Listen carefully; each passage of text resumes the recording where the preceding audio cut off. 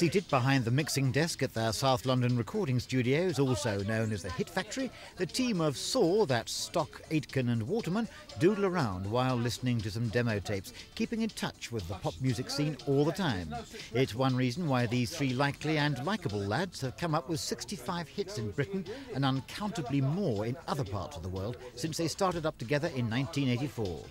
Right now, they've got three in the charts, including at number one, Neighbours TV star Kylie Minogue and I Should Be So Lucky.